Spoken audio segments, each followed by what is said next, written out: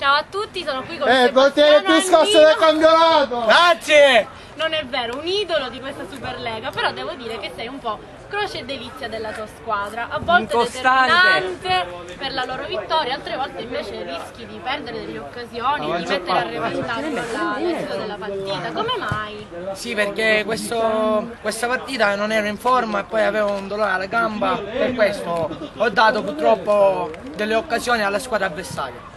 Devi essere più costante, c'è qualcosa che ti distrae. No, no, non c'è niente che mi distrae, è solo che non ero in forma.